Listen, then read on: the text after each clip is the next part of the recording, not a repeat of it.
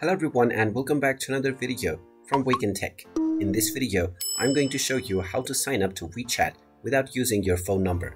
So let's get started right away. First of all, open up the WeChat application on your device and you will see the login as well as the sign up option. Tap on the sign up button and now you will see the sign up through mobile as well as Facebook option. If you don't wish to use your phone number, tap on the sign up through Facebook button and this will take you into your Facebook login page.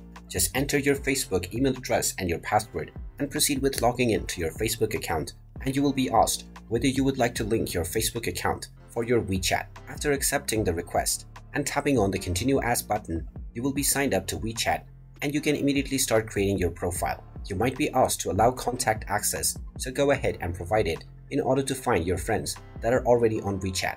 And there you have it. That is how easy it is to sign up on WeChat without using your phone number. If you find this video helpful, make sure you hit that like button and subscribe to our channel if you haven't done so already. Also ring that notification bell to never miss another update from us. Thank you for watching and I will see you again in the next video.